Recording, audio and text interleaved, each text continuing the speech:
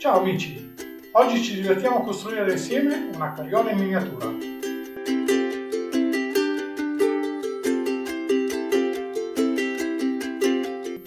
Vi piace?